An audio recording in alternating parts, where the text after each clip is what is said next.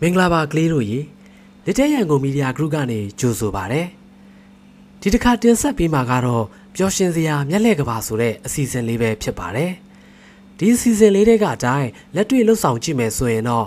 ကလေးတို့ရဲ့အုတ်ထင်းသူလူကြီးမိဘတွေကိုခွင့်တောင်းဖို့တော့လိုမယ်နော်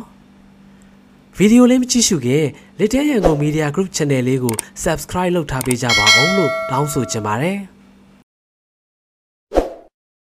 ဒီအပေါက်ကလွယ်ပါတယ်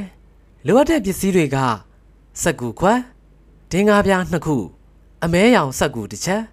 ကက်ကြီးအဆင့်တစ်စက်ကူခွက်ရဲ့အောက်ခြေနားမှာတလက်မအရွယ်ကအလျားလိုက်အပေါက်ဖောက်ပါပြီးရင်ဒင်းကားပြားကိုအဲ့ဒီအပေါက်ကနေစက်ကူခွက်ထဲကိုတဝက်ခန့်ထိုးသွင်းထားပါအဆင့်နှစ်စက်ကူအမဲကို အဝိုင်းလှီပါ၎င်းအဝိုင်းကစက်ကူခွက်အောက်ခြေထက်နည်းနည်းသေးရမယ် အဆင့်သုံးစက်ကူခွက်ကိုလက်နဲ့ကင်ပြီးအပိုဒင်းကားပြားတစ်ခုကိုခွက်ထဲကိုထည့်ပါကလေးတို့လက်ကအကွဲချောင်းတွေကဒင်းကားကိုတယောက်မှမမြင်အောင်ဖုံးဖိထားရမယ်အဆင့်လေးခွက်ထဲမှာဘာမှမရှိကြောင်းကလေးတို့တငယ်ချင်းကိုပြပါပြီးရင်ဒင်းကားကိုယူပြီးကလေးတို့တငယ်ချင်းလက်ထဲထည့်ပြီးစမ်းသက်ကြည့်ခိုင်းပေါ့အဆင့်ကကလေးတို့တငယ်ချင်းကိုခွက်ရဲ့အောက်ခြေမှာအပေါက်ရှိမရှိမေးပါကလေးတို့တငယ်ချင်းကမရှိဘူးလို့ဖြေပါပေါ့ တကယ်လဲအပေါက်မရှိဘူးလေ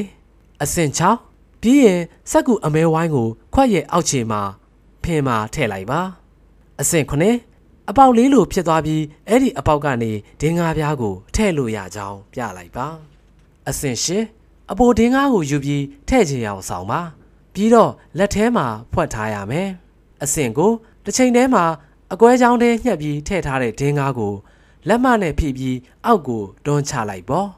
အဆင့်30သူတို့ကစက်ကူခွက်ရဲ့ဖင်ကနေထည့်လိုက်လို့ခွက်ထဲကနေကျလာတယ်လို့ထင်လိမ့်မယ်ဒီလိုအပေါက်ကလွယ်တယ်မဟုတ်လားနောက်ထပ်လည်းပျော်ရွှင်စရာမျက်လှည့်ကဘာအစီအစဉ်လေးတွေတင်ဆက်ပေးအောင်ပါမို့လက်တဲ့ရန်ကုန်မီဒီယာ group channel လေးကို subscribe လုပ်ထားပေးကြပါအောင်လို့ထပ်မံတောင်းဆိုချင်ပါတယ်